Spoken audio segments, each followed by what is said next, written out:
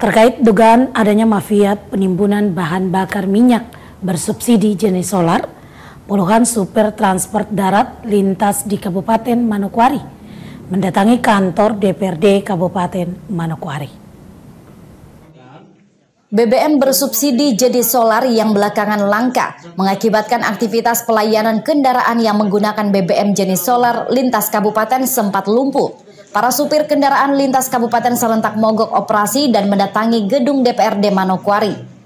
Kedatangan puluhan sopir angkot bermesin diesel yang menggunakan BBM jenis solar yang beroperasi melayani wilayah Manokwari, Bintuni, Pegaf, dan sekitarnya itu tak lain guna melaporkan sejumlah fakta peristiwa di lapangan pada lingkungan SPBU yang ada di Manokwari. Bisa saja lancar kalau penimbunan ini tidak terjadi sampai dengan ratusan liter.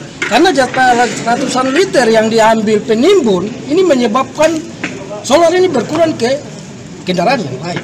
Kita tidak bicara cuma untuk Hilux, untuk mobil kendaraan lain, tapi itu berdampak kepada semua kendaraan yang punya hak untuk menerima, subsidi. subsidi. Sementara menanggapi aspirasi para sopir angkot tersebut, Wakil Ketua DPRD Manokwari Norman Tambunan bersama tim anggota DPRD dari komisi atau fraksi yang lain akan segera memanggil pihak-pihak terkait untuk kemudian bersama-sama mencari solusi atas permasalahan ini.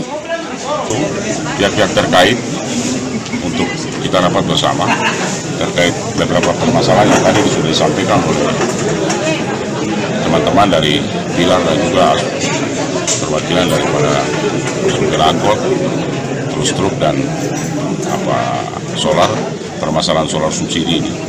Memang ini bukan baru pertama kali sebenarnya, sudah sering terjadi.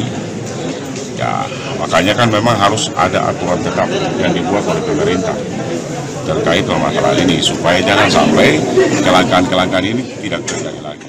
Dari Papua Barat Manokwari, Rahman Andrian Kairuban, iNews melaporkan.